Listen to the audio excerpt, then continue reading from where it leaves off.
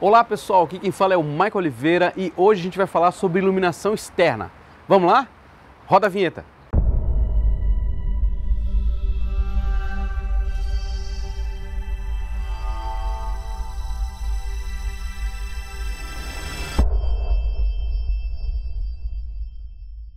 Gravar vídeos na rua é uma arte, é algo que você tem que dominar para você conseguir ter vários cenários e também para economizar aquela grana quando você não tem grana ainda para comprar todos os iluminadores, softbox ou luz de LED ou sei lá o que para dentro da sua casa. Não dá para você gravar vídeo só com a luzinha de teto e a sua câmera dentro de casa sem microfone, sem nada. Isso você já sabe, porque com certeza o seu vídeo vai ficar com uma qualidade muito baixa tá? Então você pode aproveitar. Michael, não tenho grana, então aproveita e grava na rua. Tem vários lugares na sua cidade. Aqui hoje, por exemplo, eu escolhi o cartão postal da minha cidade, que é Floripa, tá? Que é essa ponte maravilhosa aqui de fundo.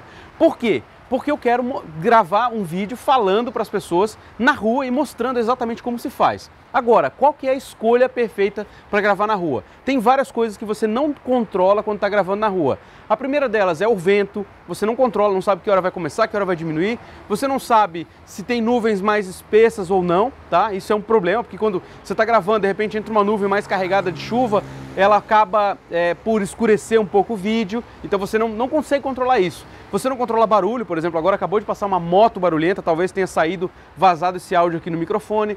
Você não controla muitas coisas, gente falando, pessoas passando, enfim. Você não controla nada. Então, você está num ambiente onde você tem que cuidar de um monte de coisas, seu equipamento às vezes está na rua, então nem sempre é a melhor opção ir para um ponto turístico. Mas o dia tem que ter algumas condições para que quando esse dia chegar, você fala, cara, é hoje, hoje eu vou para a rua e vou gravar os meus vídeos. Então, uma dica extra aqui para você, deixe sempre uma pauta de vídeos pré-pronta para você, é, o dia que chegar, a hora certa, o, o dia perfeito, você ir para a rua com aquela pauta e sair gravando, ok? Então, é uma dica extra aqui. Enfim, o que, que a gente escolheu? Um dia nublado, tá? Um dia que não tem aquele sol de rachar, porque se eu estivesse gravando um vídeo no solzão, com certeza eu estaria assim, fechando o olho, tá? Eu, eu não sei porque eu tenho olho claro, então acaba tendo mais sensibilidade, mas é muito complicado você falar num solzão e sem contar aqui, olha só, eu coloco a minha mão aqui, tá? Não vem uma sombra dura, aquela sombra que quase desenha a mão no meu rosto, por exemplo, né? Fica uma sombra totalmente suavizada, né? Como se você estivesse dentro do estúdio com o seu softbox com o difusor na frente. As nuvens fazem esse papel de um difusor natural para o seu vídeo, para a sua iluminação. Então, prefira dias nublados, tá? Para gravar o seu vídeo quando for fazer vídeo externo. Mas, Michael, eu não sei quando vai ser um dia nublado. Passa às vezes seis meses sem chover na minha cidade. O que, que eu faço?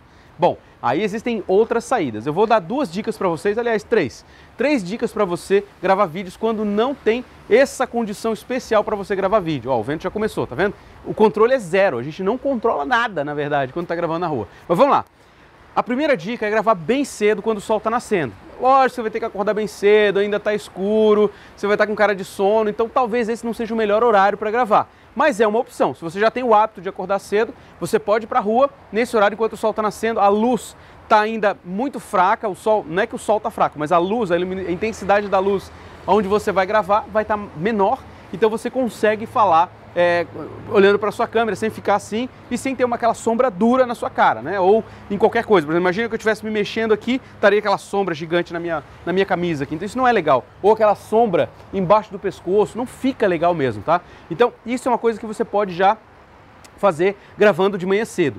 Ou no final do dia. Problema de gravar no final do dia, tá? O único, única ressalva que eu faço é o horário que a, o sol começa a baixar Tá? Então você tem pouco tempo entre a hora que você começa a gravar e o fim da gravação. Então comece a ajustar o equipamento pelo menos uns 20 minutos antes é, para você deixar tudo pronto. Beleza, a hora que começar a baixar mais o sol, que a luz diminuir um pouco, a gente começa a gravar. Porque a luz vai embora rapidinho, em 10, 15 minutos, aquela condição legal de luz vai embora e o seu vídeo, se você não gravou, só no dia seguinte. Então essas são as ressalvas de gravar no horário de manhã cedo ou à noite.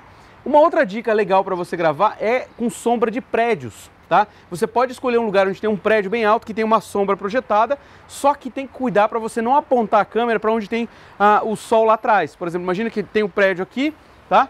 É, esse prédio tem uma, uma sombra que projeta aqui, só que lá atrás tem sol, porque lá não tem nada projetando. Então, tente enquadrar a câmera de um jeito que não apareça aquela luz forte e intensa lá atrás, ok? Então essa é a dica para você fazer esse tipo de vídeo na sombra, tá? E utilize esse tipo de, de, de, de artimanha, você pode ser, de repente, Michael, na minha cidade não tem prédio, então você pode gravar numa sombra de árvore, num lugar que seja legal, que não tenha aquela, aquela luz muito intensa ou que não seja muito escuro, né? Para você fazer vídeo externa, ok? Espero que essas dicas tenham ajudado você a entender um pouquinho mais sobre gravação externa com a, a, sua, com a sua câmera, com o seu equipamento, seu celular. Isso vale pra, tanto para a câmera quanto para celular. Se você estiver gravando com o celular, essa regra da iluminação é, é idêntica, é a mesma coisa, tá?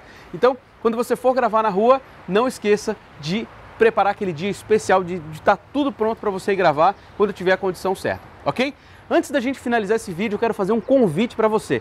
Eu estou organizando um evento chamado Semana dos Vídeos Online, tá? E nesse evento a gente vai falar tudo sobre negócios, sobre vídeos, sobre como você pode montar um negócio baseado em vídeos. Você que quer ser youtuber, você que quer atender empresas, você que quer criar produtos baseados em vídeos, enfim, tem muita coisa legal que você pode fazer utilizando vídeos, inclusive trabalhar como afiliado, enfim, dá para fazer muita coisa legal. E nessa semana dos vídeos online, eu vou falar tudo que eu sei sobre negócios baseados em vídeos. E é hoje basicamente é, o meu negócio e não tenho o menor problema de compartilhar com vocês as informações tá, desse negócio. Para isso, para você se inscrever, aqui no site vai ter, já tem um endereço aqui para você, que é semanadosvideos.com.br. Entra lá agora e se inscreva, porque primeiro eu vou dar um grande motivo para você ir agora, não deixar para depois. Primeiro que você pode esquecer, tá? Pode ser que amanhã ou depois você pense em outra coisa e esqueça e você não vai ser avisado da semana dos vídeos online. Segundo, é que eu já tenho 18 mil pessoas no meu canal no YouTube. E pode ser que não tenha vaga para todo mundo, porque o sistema vai. É, eu não consigo colocar mais de mil pessoas, mil, mil e quinhentas pessoas num evento como esse. Então as vagas são limitadas. Muita gente já está correndo para se inscrever, tá? Eu já devo estar tá com um pouco mais de 35% das vagas preenchidas para esse evento já. Então, não independente de quando você está vendo, entra lá agora e garanta a sua vaga, vaga para a próxima semana dos vídeos online, que eu tenho certeza que você vai adorar. Esse conteúdo realmente vai fazer grande diferença para você, tá certo? E antes de ir embora, não esqueça de assinar o canal, se você for, se esse for o primeiro vídeo meu que você está assistindo, ou se inscrever aqui no YouTube para você sempre ser avisado assim que eu mandar um vídeo novo para esse canal, ok? Um grande abraço do Michael Oliveira e nos vemos no nosso próximo vídeo. Até mais!